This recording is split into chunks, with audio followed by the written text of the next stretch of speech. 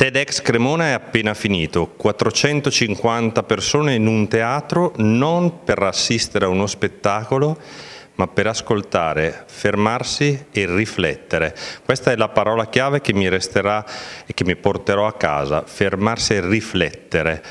Eh, perché abbiamo capito stasera c'era un fil fra tutti gli interventi quanto abbiamo bisogno di ragionare molto di più su ciò che facciamo, sugli automatismi. Mi era successo solo un'altra volta, un corso di guida sicura dell'automobile eh, il momento clou era quando giravi il volante alla rovescia, giravi a sinistra per andare a destra e giravi a destra per girare a sinistra. Questo serviva, ci hanno spiegato i nostri docenti, per insegnare al cervello a non andare in automatico, ma sempre di essere lucido e di pensare a quello che stiamo facendo.